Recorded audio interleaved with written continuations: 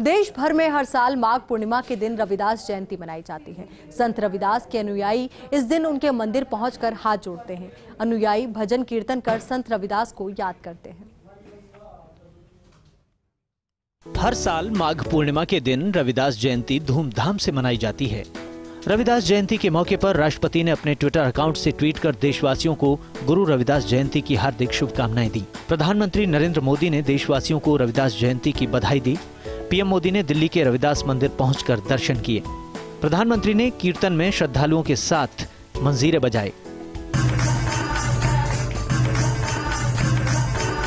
PM Modi ने tweet कर इन पलों को बेहद खास बताया। वहीं उत्तर प्रदेश के मुख्यमंत्री योगी आदित्यनाथ ने वाराणसी के संत रविदास मंदिर पहुंचकर माथा टेककर पूजा अर्चना की। इसके बाद सीएम योगी ने लंगर भी खाया। कांग्रेस नेता राहुल गांधी और प्रियंका गांधी वाड्रा ने संत रविदास मंदिर पहुंचकर हाथ जोड़े। पंजाब के मुख्यमंत्री चरणजीत सिंह चन्नी, दिल्ली के मुख्यमंत्री अरविंद केजरीवाल ने भी संत शिरोमणि रविदास की जन्मस्थली पर हाजिरी लगाई। पंद्रहवीं शताब्दी के महान संत, दार्शनिक और समाज सुधारक थे संत रविदास। यूपी के काशी में बाबा संतोख दास के घर उनका जन्म हुआ था। निर्गुण परंपरा के संवाहक थे संत रविदास। ईश्वर के प्रति विशेष प्रेम रखते थे संत रविदास। लेखों के ज़रिए आध्यात्मिक और सामाजिक संदेश देते थे। उत्तर भारत में भक्ति आंदोलन का उन्होंने नेतृत्व किया था। पूरे भारत में वे अलग अलग नामों से लोकप्रिय हुए।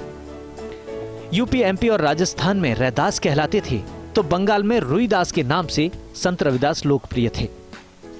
बनारस में संत रविदास का भव्य मंदिर है और सभी धर्मों के लोग उनके दर्शन को आते हैं। उत्तर प्रदेश और पंजाब में संत रविदास के लाखों अनुयायी हैं। चुनाव की बात करें तो पंजाब में पहले 14 फरवरी को मतदान होना था लेकिन रविदास जयंती पर बड़ी संख्या में लोग वाराणसी जाते हैं। इसके मद्देनजर चुनाव की तारीख बदलकर 20 फरवरी रखी गई है। 117 सीटों वाली पंजाब विधानसभा की 23 सीटें दोआब क्षेत्र से आती हैं, जहाँ रविदासिया समाज के 10 से 12 लाख लोग रहते हैं। पूरे पंजाब में दलित समाज की 32 फ़ीसदी आबादी है। वहीं बात करें उत्तर प्रदेश की तो 403 में से चौरासी सीटें दलितों के लिए रिज़र्व हैं। अब देखना यह है कि नेताओं का चुनावी दांव, पंजाब और उत्तर प्रदेश में किसके काम आता है bureau report, first India news